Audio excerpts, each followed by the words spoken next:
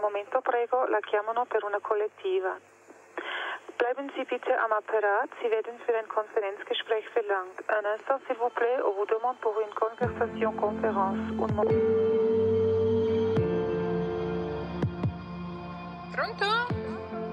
Ciao Poppy! Adesso vi passo Chiara! Chers amis, nous devons faire un voyage autour du monde. Il sera long car le monde est grand. Conferenza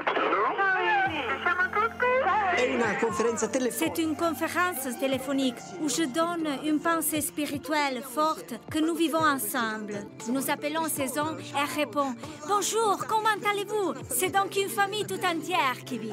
Son but est de nous faire entreprendre un saint voyage vers la sainteté.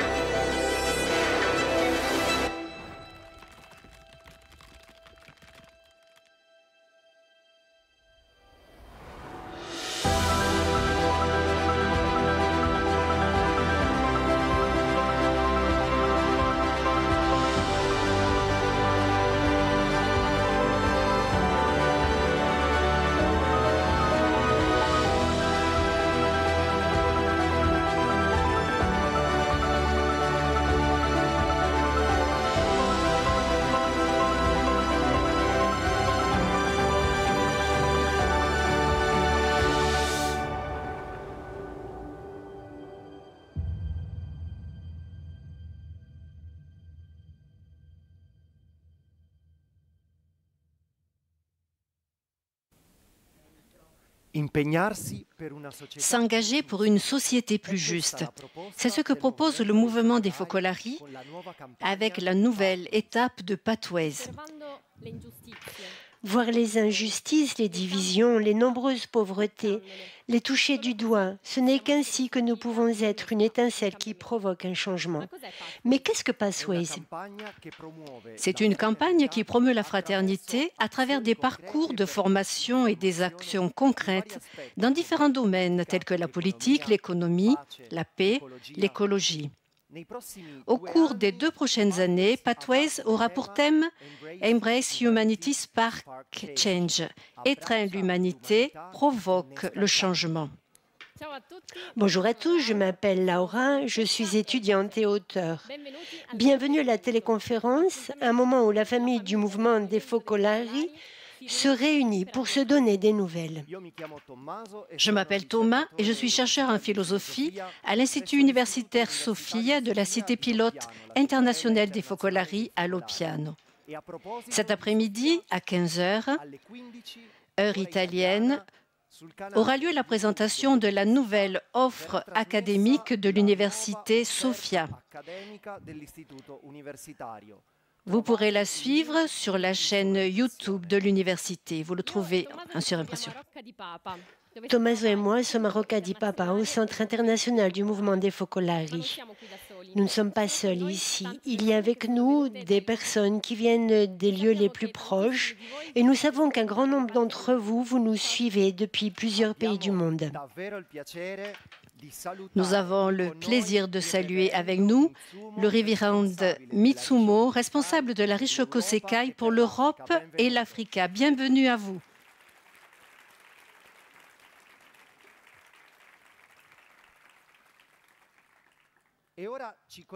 À présent, nous nous relions avec le Kenya pour un salut spécial.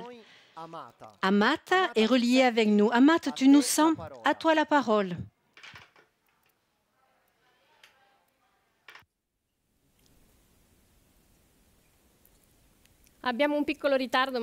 Il y a un petit retard, je pense. Elle se connectera plus tard, on l'attend. Et voilà, le collegamento commence. On applaudit en attendant qu'Amata soit présente. La voici.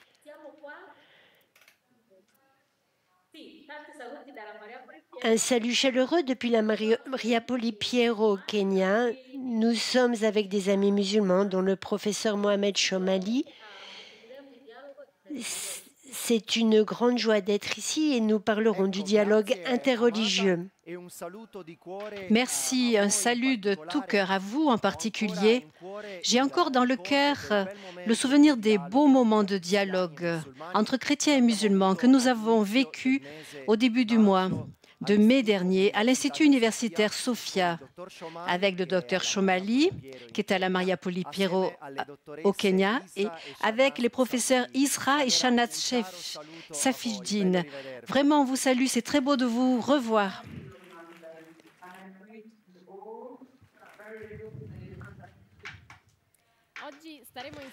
Aujourd'hui, nous serons ensemble pendant environ une heure, divisés en trois moments. Le premier je n'en parlerai pas parce que Tommaso vous en parlera plus tard. Le deuxième moment sera un grand voyage entre deux continents, l'Asie et l'Océanie. Préparez vos valises. Un troisième moment où nous vous donnerons quelques nouvelles et les prochains rendez-vous. Donc, commençons maintenant, Tommaso.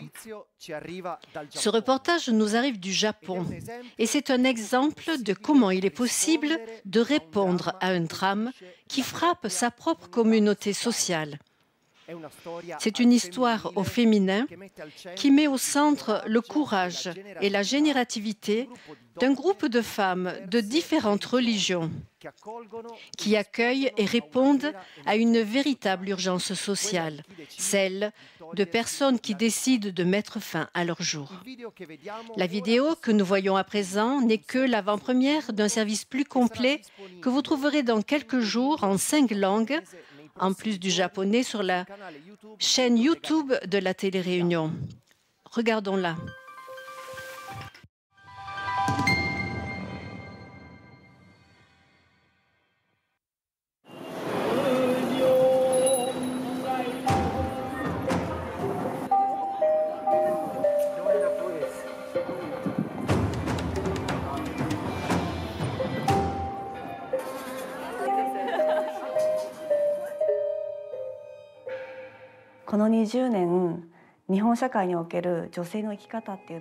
Ces 20 dernières années, le mode de vie des femmes japonaises a beaucoup changé.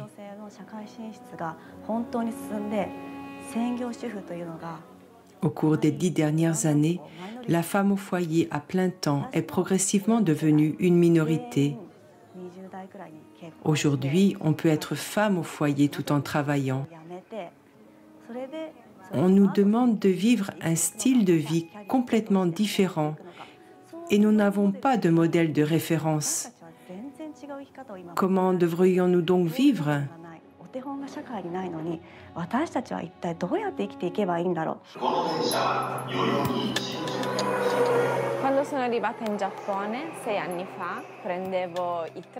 Lorsque je suis arrivée au Japon il y a six ans, je prenais le train pour me déplacer en ville et de temps à autre, j'entendais un message qui m'a été traduit par accident humain.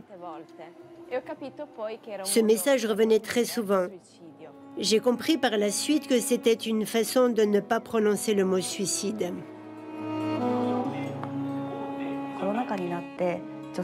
Avec l'arrivée du coronavirus, le taux de suicide chez les femmes a augmenté de manière exponentielle, faisant remonter à la surface de façon évidente le problème qui semblait auparavant n'être que latent. Un jour de novembre 2020, Kyoko est venue me voir à la maison. Je faisais des études de psychologie et j'avais constaté à quel point les femmes avaient besoin de soutien psychologique.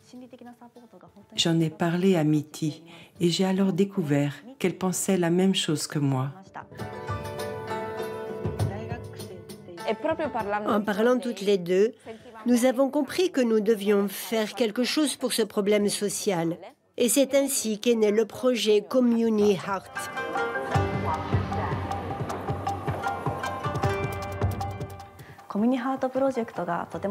Le point central du projet Community Heart est de relier, d'unir la partie intérieure de nous-mêmes à la partie que nous présentons ensuite à l'extérieur.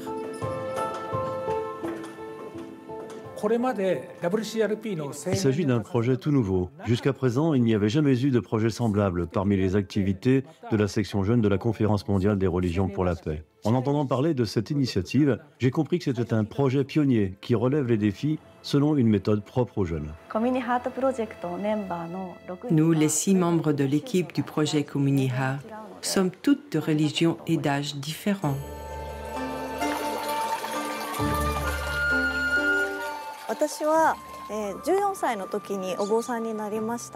Je suis devenue moniale à l'âge de 14 ans, mais ce n'est que l'année dernière que j'ai été nommée responsable du temple Ishiyama. Au Japon, il est très rare qu'une jeune femme comme moi soit à la tête d'un temple si important. Au Japon, seuls les hommes de plus de 60 ans deviennent prêtres responsables des temples. Aucune femme n'a la même position que moi. Je n'ai donc personne avec qui échanger, avec qui partager mes insécurités ou mes joies. Pour moi, un trésor merveilleux du projet Communi Art a été de pouvoir travailler à un objectif commun avec d'autres femmes de ma génération.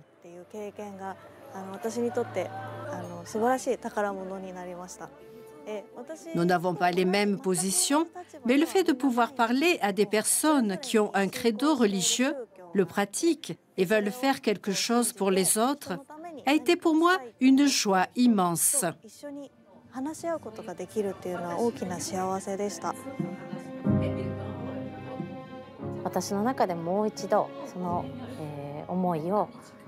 Pour moi, cela a été l'occasion de regarder mes émotions en face. Nous avons proposé le programme du projet Community Heart à un premier groupe de 20 adolescentes. Nous avons abordé cinq thèmes. La vie et le bonheur, les relations, les communications, la femme dans la société et la souffrance.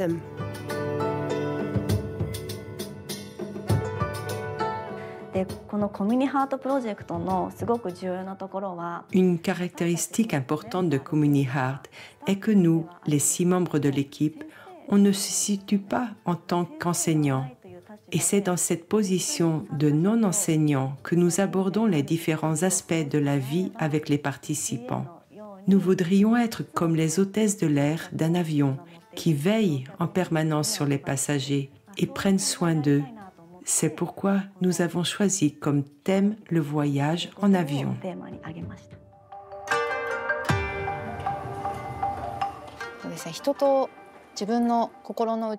Je n'ai jamais parlé de mes sentiments avec d'autres personnes.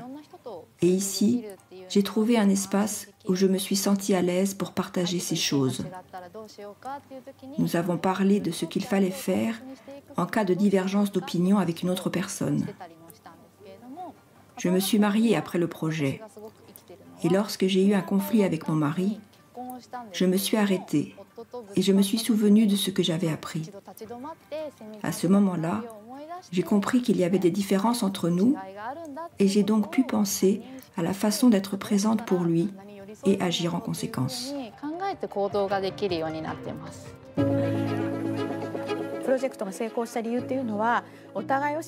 Je crois que la raison du succès du projet vient du fait que nous avons cru l'une en l'autre. Il s'agissait de se faire confiance. Et cette confiance réciproque est née du fait que chacune a livré toutes ses souffrances passées, la façon dont elle avait été élevée et dont elle avait vécu sa vie.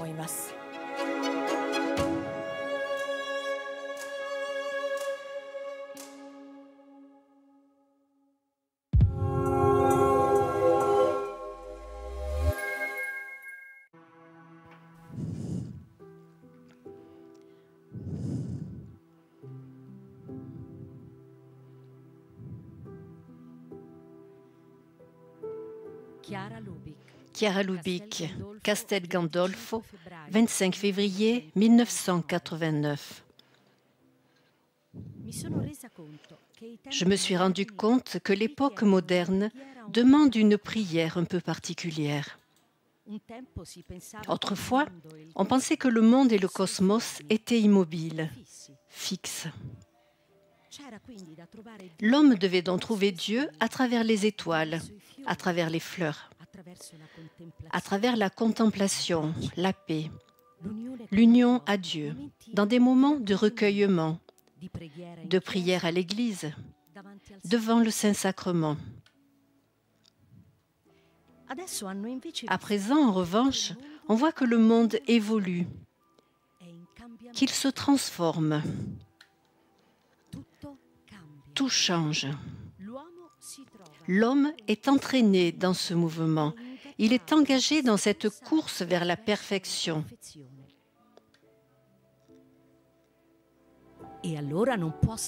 Alors il ne peut plus rester immobile à contempler. L'homme est appelé à participer avec Dieu à cette évolution, à cette création. C'est pourquoi tout ce que vous faites à l'école, au bureau, à l'usine, revient à construire le monde avec Dieu créateur, à faire évoluer le monde. Cependant, nous devons le faire évoluer en ayant bien conscience que nous participons à la création de Dieu. Et donc que notre œuvre est une œuvre sacrée. Nous sommes un bras de Dieu créateur qui va de l'avant, qui construit le monde.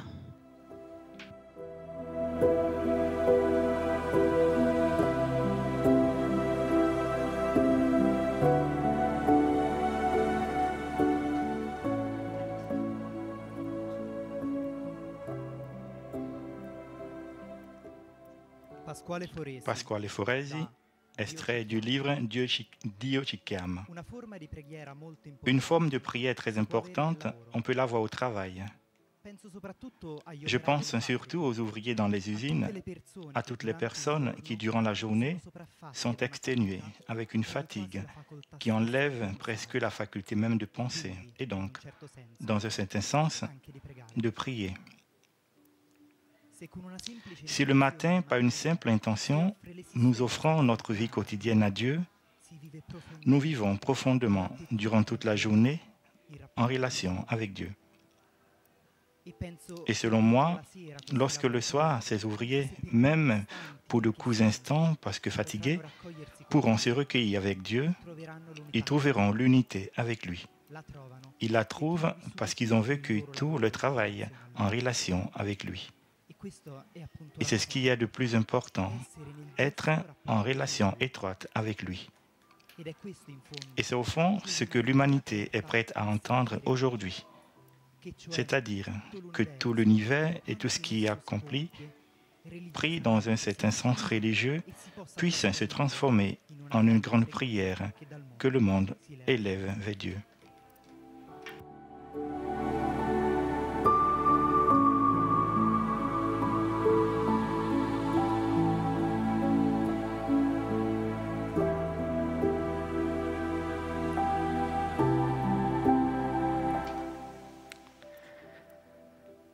Gino Giordani, tiré du livre Journal de feu. Ce matin, il m'a semblé que je m'étais rapproché de Dieu. Jamais je crois que je ne l'avais senti aussi proche. Ma joie a été et reste grande. Je sens que j'ai trouvé un libre accès pour aller à lui. Et mon intention est de ne plus jamais m'éloigner. J'ai surmonté par la grâce de Dieu les obstacles qui m'empêchaient de m'accrocher à la terre. Désormais, je suis sur la terre et j'habite au ciel. Mon ambition est grande, mais ma miséricorde l'est encore plus. Je l'aime infiniment. Les impulsions de vanité et de préférence dans les amitiés ne me freinent plus. Je vais directement à Dieu en me débarrassant de ces oripeaux. Les hommes peuvent me trahir, me calomnier, me tuer, mais j'ai Dieu. Je les aime indépendamment d'eux. J'appartiens à Dieu, je n'ai besoin de rien d'autre.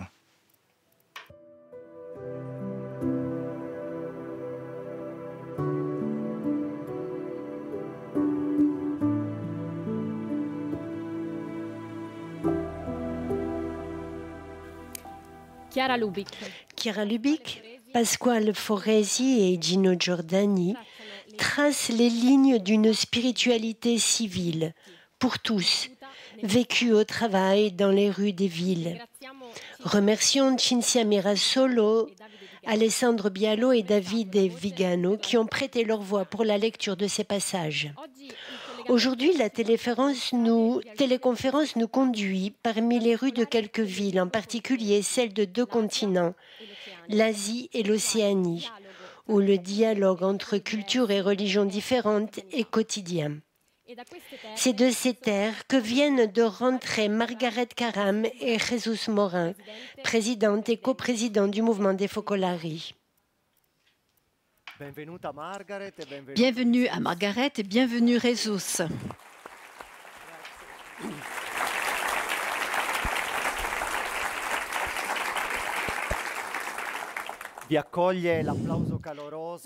L'applaudissement chaleureux de la salle du centre du mouvement des Focolari vous accueille.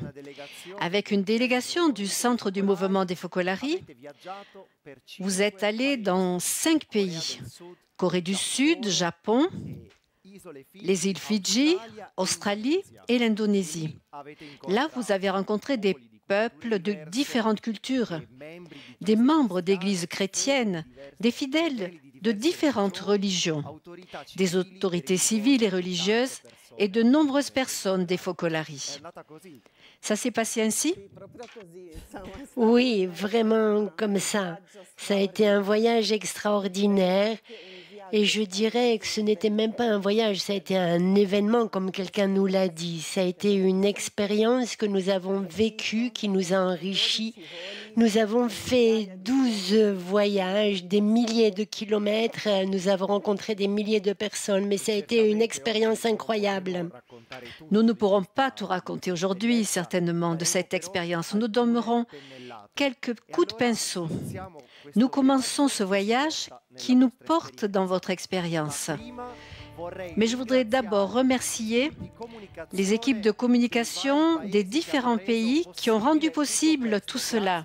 Merci beaucoup.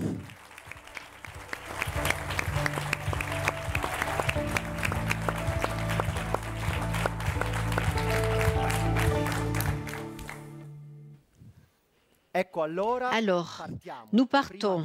Première étape, Corée du Sud.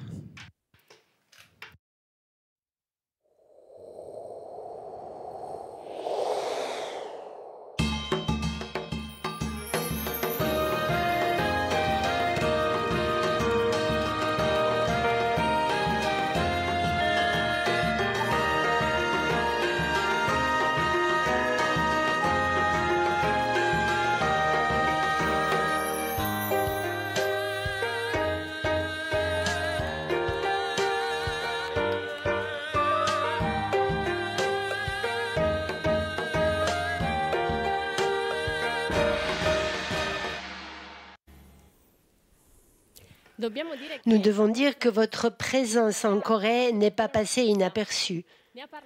Même la télévision catholique coréenne en a parlé. Elle était présente à votre premier rendez-vous public intitulé Le dialogue devient la culture de la famille humaine. Écoutons à présent un extrait de cette transmission.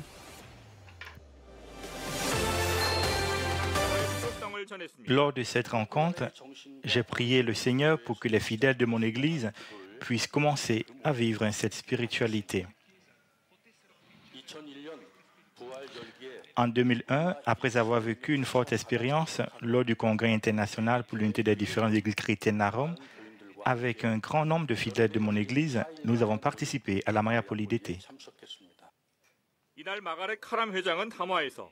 La présidente du mouvement des Fokolagri, Margaret Karam, a invité les chrétiens et les fidèles des autres religions à poursuivre cet engagement en faveur de la paix et de la fraternité universelle en Corée et dans le reste du monde. Être ensemble aujourd'hui est une occasion très précieuse pour renouveler notre engagement et notre collaboration à porter la paix, la fraternité en Corée et bien au-delà. Le coprésident Ressus Moran a souligné la nécessité pour les chrétiens de dialoguer avec toutes les personnes de bonne volonté afin de pouvoir créer un espace prophétique pour un monde nouveau. Puis, il y a eu la visite de l'archevêque de Séoul.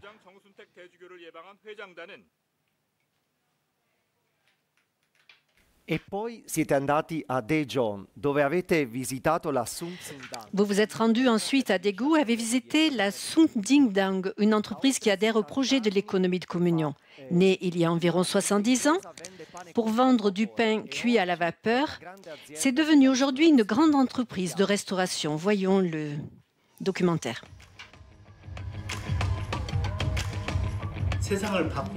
Je suis très heureux d'avoir une mission qui est de contribuer à changer le monde. D'une certaine manière, je pense que dans la vie, au lieu de vouloir réussir seul, c'est une grande chose d'agir pour améliorer ce monde. Et bien sûr, cela se réalisera, j'en suis sûre.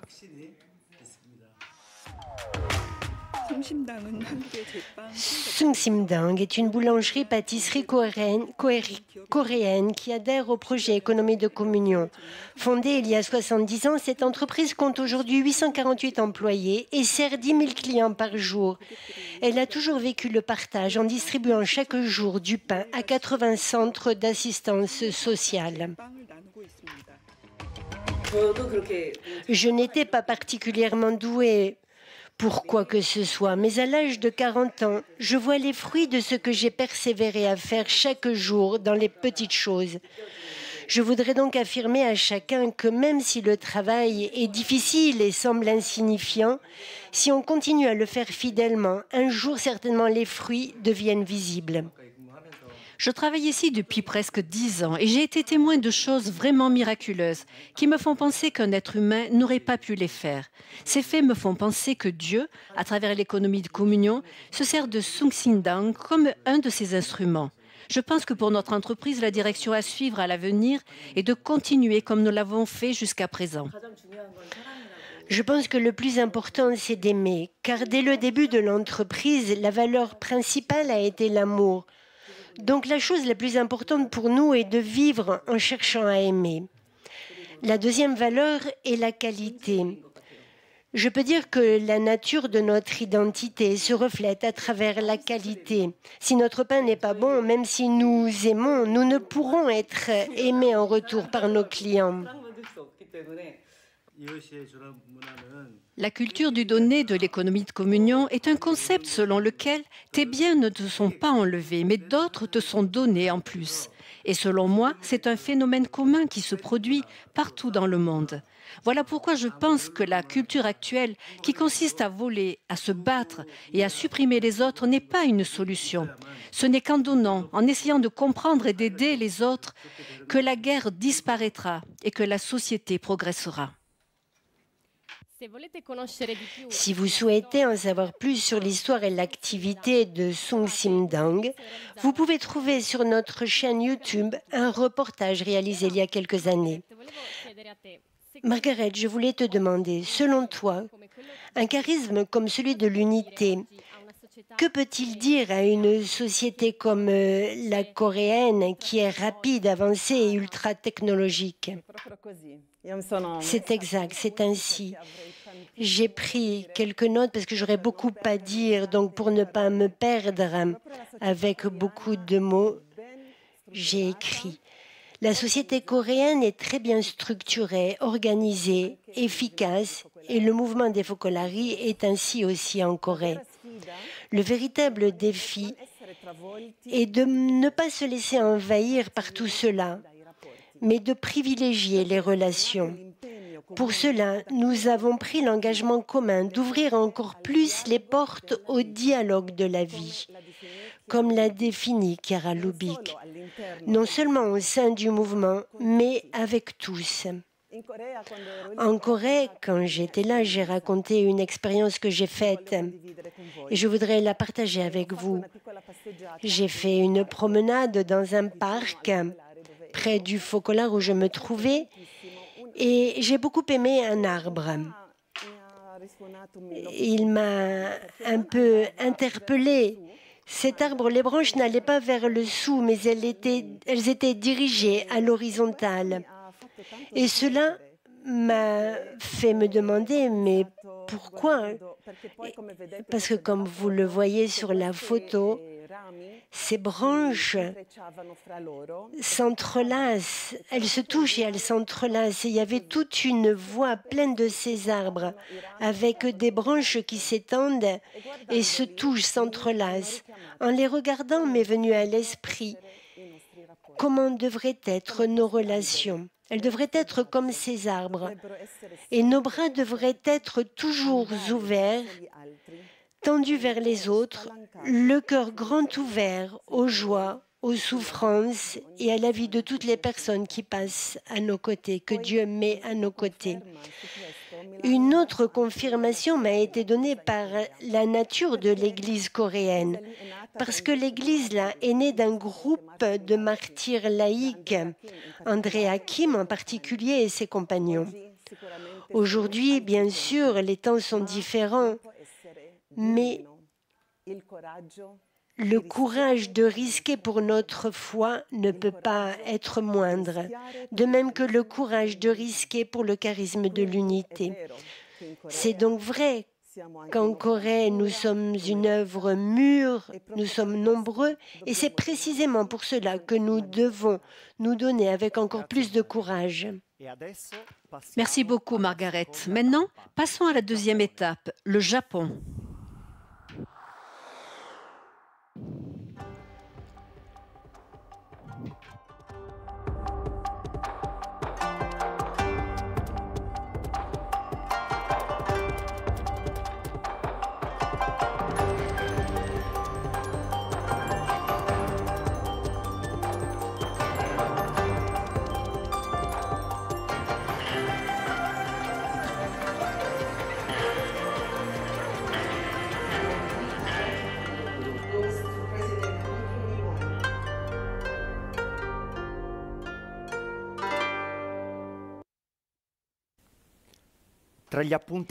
Parmi les rendez-vous les plus importants de ces journées, il y a eu le symposium à l'Université catholique Sophia de Tokyo, intitulé Pouvons-nous être un signe d'espérance dans le monde?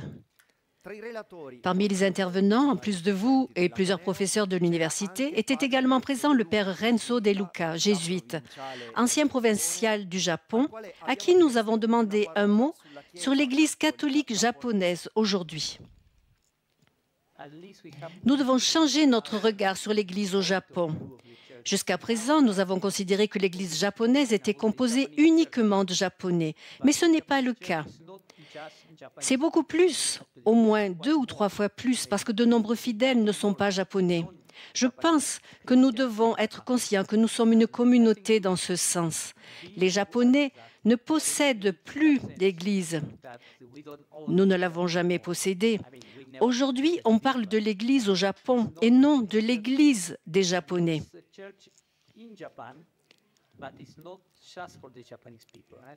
Je pense que beaucoup de fidèles se sentent envahis par des non-japonais et que si ces derniers veulent faire partie de la communauté, ils doivent respecter les règles, rester à leur place. Ce n'est plus la réalité de l'Église japonaise d'aujourd'hui. Nous avons des Vietnamiens, des Latino-Américains, des Indiens, des Philippins. Je pense qu'ils devraient être intégrés pour former une unique communauté chrétienne, ce qui n'est pas encore le cas.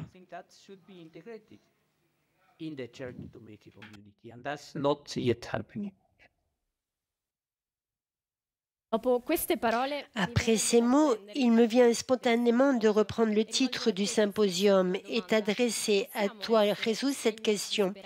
Pouvons-nous être un signe d'espérance pour le monde et pour l'Église et de quelle manière selon toi? Je pense que oui. Sur certainement l'espérance est la vertu la plus importante de notre époque. Les poètes antiques disaient que l'espérance est la sœur du rêve et non pas du cauchemar. Nous pouvons à présent réorganiser en nous l'espérance. C'est important d'être un signe d'espérance pour les autres. C'est peut-être le plus important. Ce que j'ai appris au Japon, c'est que l'espérance n'est pas liée au succès. Elle n'est pas liée à la quantité de personnes qui te suivent. Il suffit de penser que les chrétiens au Japon varient selon les statistiques, selon les sources, mais ils sont entre 1 million et 3 millions de personnes après 500 ans d'évangélisation. Donc l'espérance n'est pas dans le succès, mais je l'ai vu au contact avec les personnes. J'ai à l'esprit, ces jours-ci, j'ai reçu la lettre d'une de ces personnes. L'espérance est liée à un amour éprouvé dans la fidélité. Éprouvé dans la fidélité. À partir de petites choses, nous pouvons faire de grandes. C'est ce que j'ai appris au Japon. Et je suis revenu avec beaucoup d'espoir. Merci, Rezos. Maintenant, nous passons à la troisième étape. Il s'agit d'îles immergées dans le sud de l'océan Pacifique, les îles Fidji.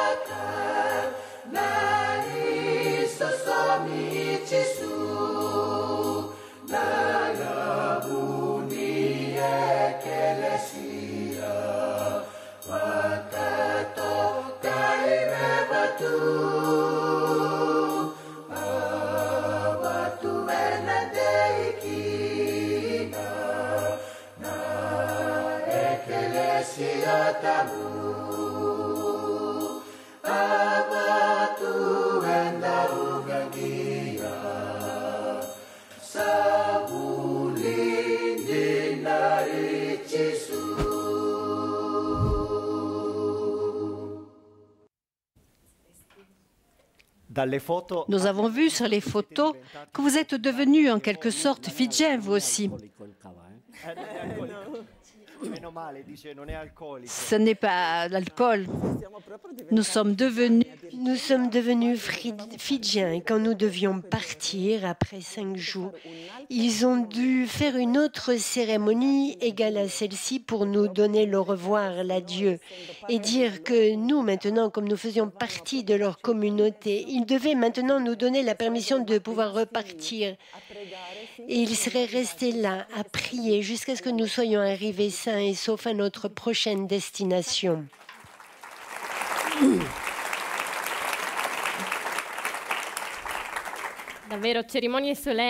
Des cérémonies solennelles, une culture très ancienne qui continue encore aujourd'hui à apporter une contribution originale. Écoutons à ce sujet Peter Emberson, fidjien, analyste politique pour le gouvernement et les Nations Unies. Dans la, dans la culture du Pacifique, du fait que nos peuples sont très communautaires, nous ne pouvons pas imaginer nous-mêmes sans prendre en compte les points de vue de l'ensemble. C'est un peu comme les focolari. Et tout cela est vie, la vie de tous les jours. C'est une histoire qui remonte à des milliers d'années.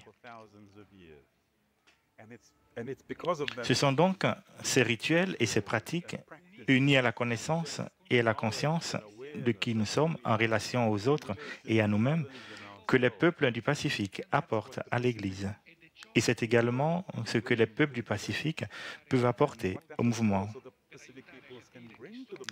pour aider à comprendre qui sont par rapport à l'idéal et à l'Évangile.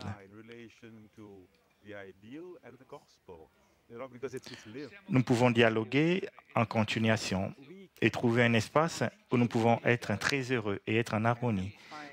Et certainement, nous pouvons aussi être en désaccord. Mais nous pouvons prendre les caractéristiques essentielles des peuples du Pacifique et les faire nôtres.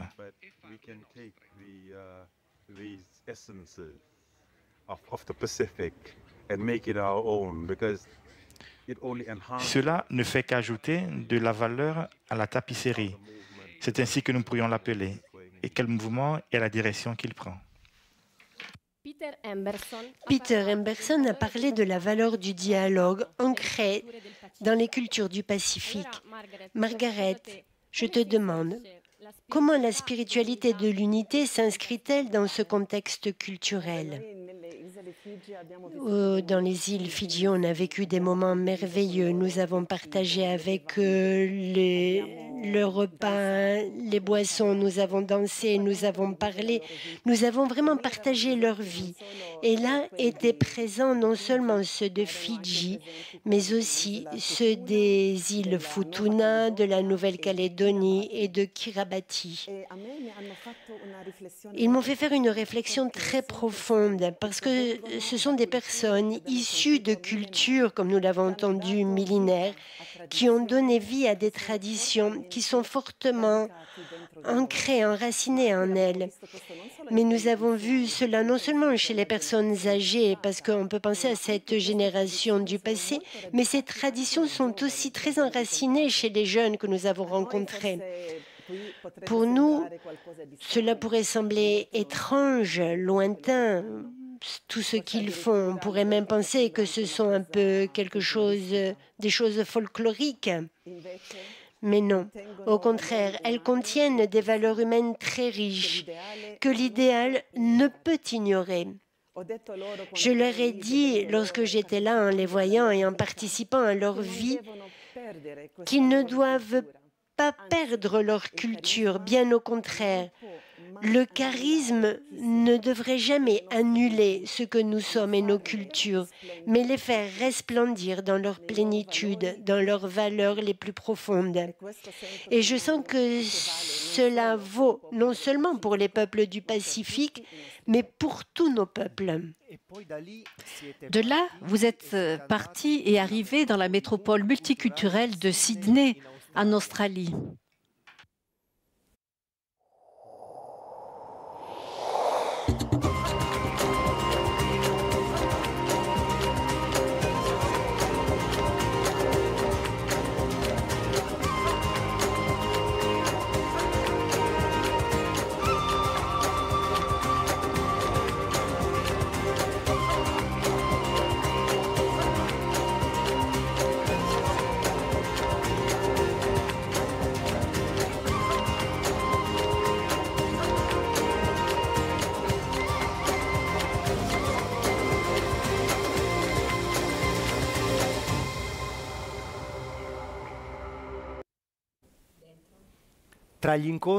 Parmi les rencontres avec la communauté australienne des Focolari, vous en avez eu une avec les jeunes.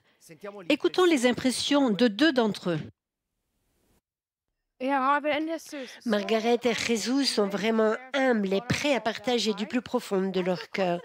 J'ai toute confiance en eux. En les écoutant parler de la façon dont ils surmontent leurs différences et de la façon dont ils travaillent ensemble, cela semble être tout naturel. Cela ressemble vraiment à mon expérience en famille. Bien sûr, nous ne sommes pas toujours d'accord, mais cela fait partie de la vie. Je pense que si tout était parfait, il y aurait quelque chose qui ne va pas. J'ai vraiment une entière confiance en eux. À travers leurs réponses, j'ai l'impression que l'Esprit Saint est à l'œuvre. Ils y croient et ont, foi en lui, tout comme Chiara avait foi dans le fait qu'après sa mort, Dieu aurait continué à nous guider. Margaret et Jésus ont cette même foi. C'est donc très encourageant et motivant. Et c'est oui, c'est merveilleux. L'unité est très importante pour les Focolari. En tant que jeune, aujourd'hui, ce n'est pas toujours facile au travail et à l'université. Et je pense que c'est l'unité qui me permet d'avancer. La fraternité que nous expérimentons avec les jeunes est quelque chose qui me permet de m'épanouir. La spiritualité de l'unité et le simple fait de voir Jésus en l'autre partout où je vais, au travail ou en famille, sera, je pense, une dimension essentielle de ma vie. Et je veux que ce soit le fondement de tout ce que je fais.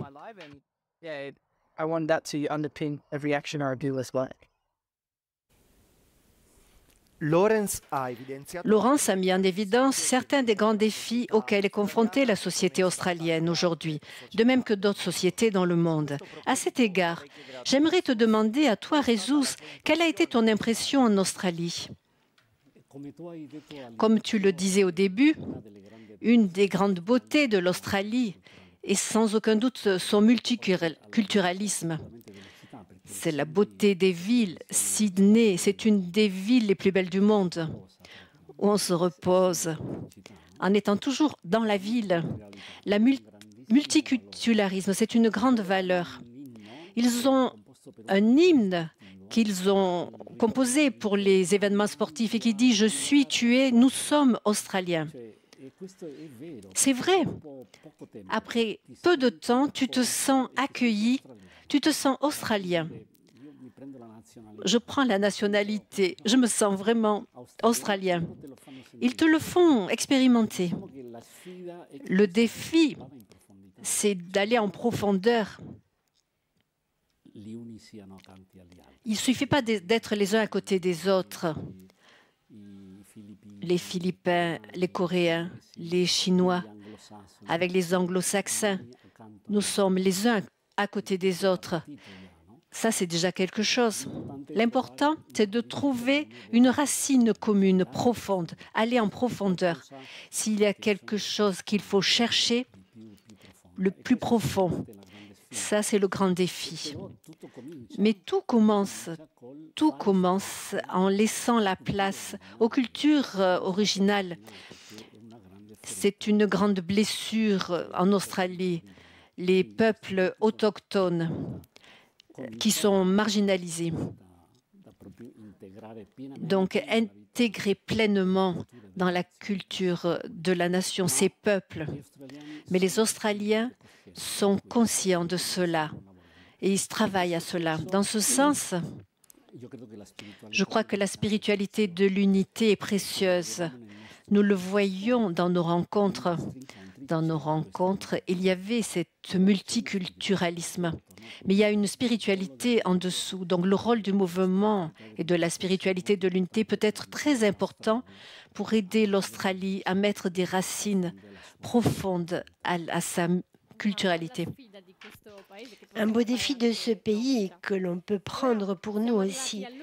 Et maintenant, nous voici arrivés à la dernière étape de notre voyage. Il s'agit du quatrième pays le plus peuplé au monde et le premier en termes de population musulmane, l'Indonésie.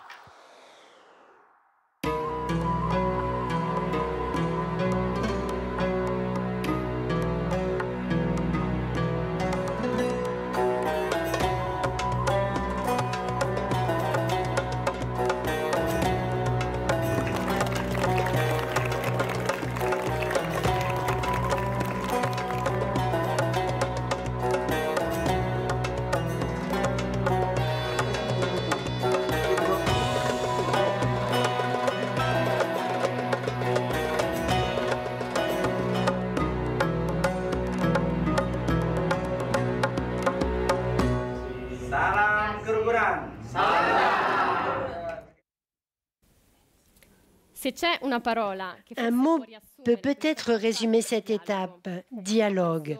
Dialogue entre personnes, cultures, religions. Un dialogue de la vie, comme l'explique Arif musulman, diplômé en physique à l'Université d'État de Jakarta. En Indonésie en particulier, comme vous le savez, les personnes ont l'habitude d'entrer dans les débats et non de dialoguer. C'est l'heure habituelle, n'est-ce pas? Si vous voulez débattre, c'est comme si vous ne voulez pas chercher la vérité. Vous voulez juste convaincre. Et donc, qui a raison? Je pense que ce n'est pas cela le dialoguer. Pour que ce soit un dialogue, à un moment donné, il faut pouvoir dire ⁇ Je suis d'accord avec toi ⁇ Il faut au moins une fois trouver un terrain d'entente. Oui, au moins une fois. Je pense donc que le mouvement des Focolari peut jouer un rôle important. En ces temps difficiles, je dirais que pour être religieux, il faut également être interreligieux, n'est-ce pas? Et pour être interreligieux, il faut appartenir à une religion. Il ne s'agit donc pas d'un syncrétisme superficiel, mais vous avez un credo religieux et vous reconnaissez l'autre tel qu'il est. Vous le respectez sans vouloir le changer. Vous reconnaissez qu'il est différent. Je pense que c'est très important, en particulier cela. Oui. But you acknowledge their very difference. I think it's very important, especially these days. yeah. Il, faut au moins une fois trouver un terrain d'entente. Selon Arif, c'est le point de départ du dialogue. Selon toi, Margaret, y a-t-il quelque chose que cette étape indonésienne puisse suggérer en matière de dialogue? Oui, comme nous venons de l'entendre, en Indonésie est venu en lumière le dialogue interreligieux et surtout lors de notre étape là, le dialogue avec l'islam. Je n'ai pas beaucoup de temps pour tout raconter, mais il y aura des reportages qui vous raconteront tout ce que nous avons fait. Ça a été une expérience merveilleuse parce qu'on a trouvé, rencontré des personnes très ouvertes, prêtes à dialoguer. Et ce qui est ressorti, c'est que nous sommes appelés à vivre les dialogues comme Kara les a définis. Elle les a qualifiés d'autoroutes pour construire l'unité. Le dialogue, comme nous l'avons entendu, doit devenir toujours plus notre mode de vie notre façon d'agir à chaque instant, surtout aujourd'hui avec les défis que peut traverser le monde d'aujourd'hui. Et donc nous devons partir de ce dialogue entre les personnes, même avec les personnes d'autres religions. Nous le faisons déjà dans le mouvement des Focolari depuis de nombreuses années. Chiara nous l'a dit de façon très forte. Mais on se rend compte qu'il faut vraiment le concrétiser davantage. Et je sens que nous devons passer à la vitesse supérieure dans ce dialogue et faire de tout pour accélérer. Après un mois et demi, cinq étapes, des milliers de personnes rencontrées, quel peut être euh, le bilan de ce voyage, si on peut en faire un?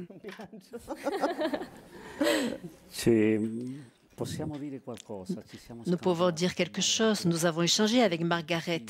Il est quasiment impossible de dresser un véritable bilan.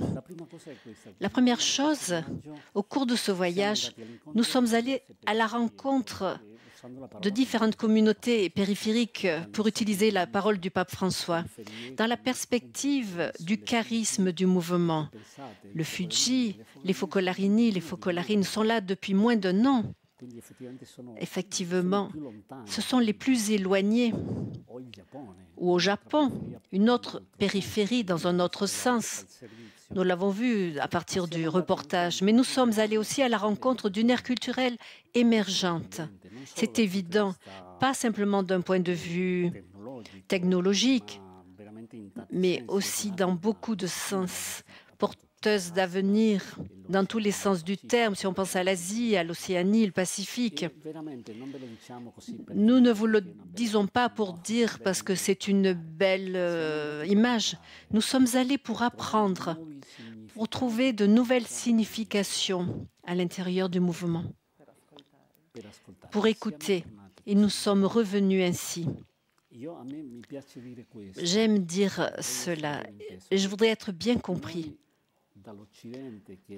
Nous, depuis l'Occident, terre du couchant, comme le définissait le grand philosophe Heidegger, nous sommes partis vers l'Orient, qui est la terre du soleil levant. Et ça, c'est plus qu'une métaphore d'un point de vue anthropologique, d'un point de vue religieux. Effectivement, et en étant là, on voit ce que veut dire dans ces terres le soleil qui est Dieu pour nous. Jésus éclaire, réchauffe. cela, on le sent dans une unité vivante, fraîche, qui ne filtre pas les choses. On pensait trouver un pays musulman aussi tolérant, on ne le pensait pas. Ça, c'est très beau pour nous. qui vivons sur la terre du soleil qui se couche. Nous, nous voulons nous laisser éclairer par ce don, parce que c'est un grand don pour l'humanité. Ce qui ne signifie pas que, que la terre où le soleil se couche n'est pas belle, mais un coucher de soleil, c'est très beau. Un coucher de soleil est très beau. À la fin, c'est le même soleil. C'est le même soleil qui se couche, qui naît. Ça m'aide de faire la synthèse en Jésus abandonné. Jésus abandonné, l'expérience, cette humanité qui donne beaucoup de lumière, beaucoup d'espérance. Tout cela, non pas parce que nous n'avons pas vu de souffrance. Nous avons été en contact avec des personnes du Vietnam, du Myanmar, avec des tragédies qu'ils vivent. Les souffrances ne manquent pas. Sans doute, sans aucun doute, comme un premier bilan que nous pouvons faire, ça change beaucoup de choses. Margaret l'a dit plusieurs fois, nous ne sommes plus les mêmes après cette expérience. Cela change beaucoup de choses, aussi pour notre travail ici au centre. Il y a quelque chose, on a une vision différente, on a touché du doigt quelque chose qui, a une signification pour, euh, pour toi en tant que présidente, moi co-président, le centre de l'œuvre, pour pouvoir euh, travailler mieux pour l'automnesse. Merci Rézus. À toi Margaret. Je veux ajouter, j'ai écrit aussi parce que j'aurais tellement de choses à dire pour le bilan de ce voyage, mais ce que je voudrais dire, c'est qu'au Japon, nous avons fait une profonde expérience de fraternité avec la Rishoko Zekai. Les Focolari et ce mouvement bouddhiste ont renouvelé avec force leur engagement à travailler afin que l'humanité soit une famille, une famille de peuples qui s'estiment et s'aiment.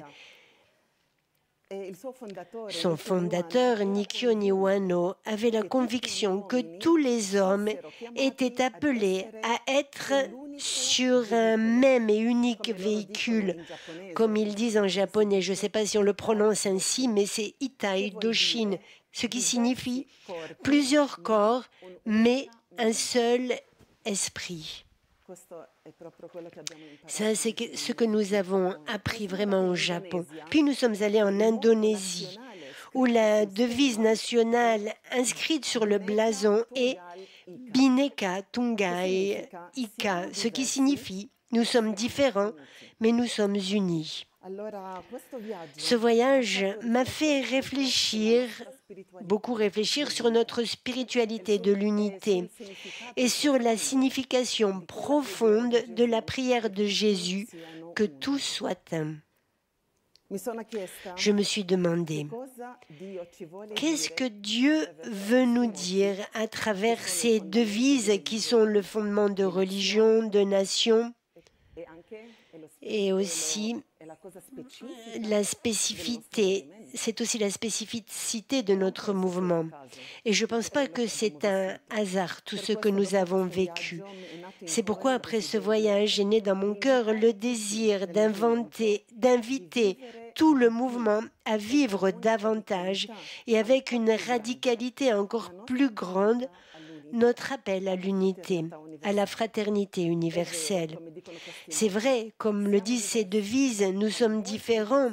Nous sommes vraiment très différents de par notre mentalité, culture, notre façon d'être, nos traditions, les langues et bien d'autres choses encore.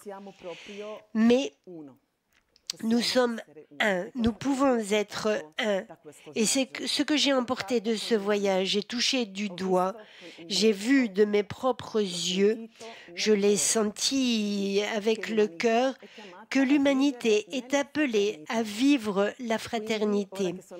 Et donc maintenant que je suis ici, j'ai une énorme joie de pouvoir travailler avec vous tous et de d'essayer d'apporter l'unité et la paix, de vivre pour notre appel à l'unité.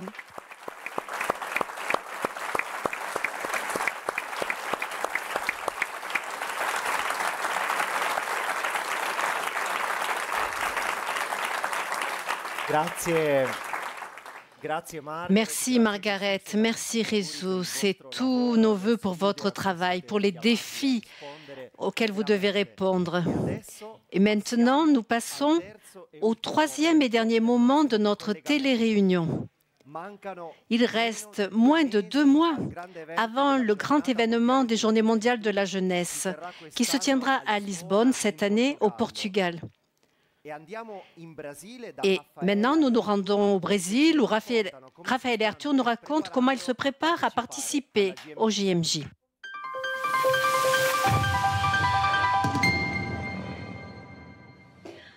Bonjour à tous, je m'appelle Raphaël, j'ai 23 ans, je suis une jeune du nord du Brésil. Je vous parle depuis Bevenides, c'est une ville où se trouve la Maria Poli Gloria, une des cités pilotes du mouvement des Focolari. Cette année, les Journées mondiales de la jeunesse avec le pape François auront lieu à Lisbonne, au Portugal.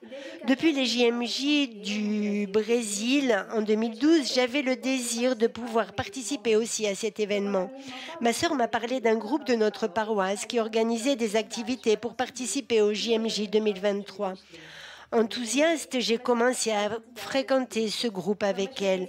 Notre famille s'est aussi impliquée. Ma mère a préparé de bons petits plats pour les vendre dans la paroisse. Toutefois, le coût du voyage est très élevé. Ayant déménagé dans une autre ville pour des raisons professionnelles, je ne pouvais plus participer aux activités. J'ai donc compris que je ne parviendrais pas à rassembler la somme nécessaire pour partir. J'ai alors décidé d'aider ma sœur pour qu'au moins elle puisse y aller. Ceci en faisant confiance en la volonté de Dieu et en demandant l'intercession de Marie. Puis est arrivée la Providence qui me permettra de participer au JMJ 2023. Je compte sur votre unité, je vous embrasse bien fort.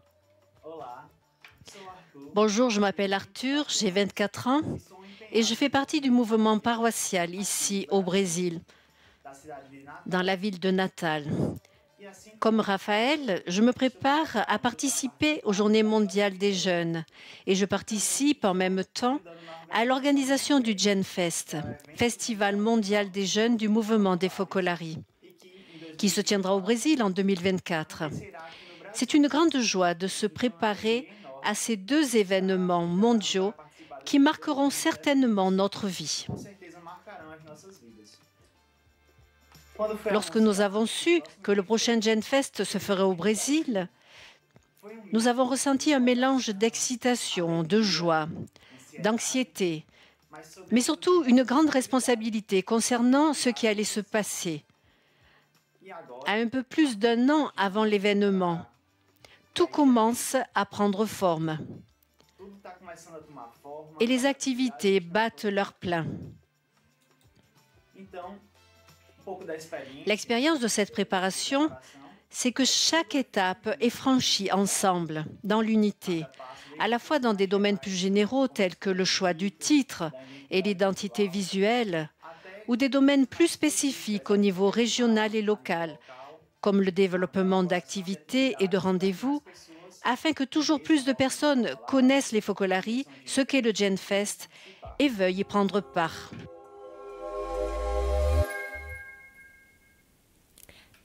Merci à vous deux. Pour qui sera présent à Lisbonne, à bientôt alors. Nous voulions vous faire une proposition. Envoyez-nous les selfies vidéo de vos préparatifs pour les JMJ que nous partagerons sur nos réseaux sociaux officiels. Vous pouvez nous les envoyer à l'adresse suivante qui apparaît sur l'écran collegamento.focolar.org. À propos de rendez-vous, avant de nous quitter, nous voulions vous dire que d'ici peu, à 16 heures, commencera au Vatican l'événement mondial intitulé Jamais seul, pacte pour la fraternité, un pacte auquel le mouvement des Focolari adhère. Et nous voici arrivés à la fin. Si vous voulez revoir cette édition, vous pouvez la trouver en cinq langues sur la chaîne YouTube de la télé-réunion. N'oubliez pas également de cliquer sur la petite cloche pour rester informé. Nous concluons sur les notes du Gen Verde et de leur nouvelle chanson écrite pour l'occasion des JMJ. Nous vous saluons et nous vous donnons rendez-vous à la prochaine télé-réunion qui aura lieu le 7 octobre 2023. Au revoir, ciao.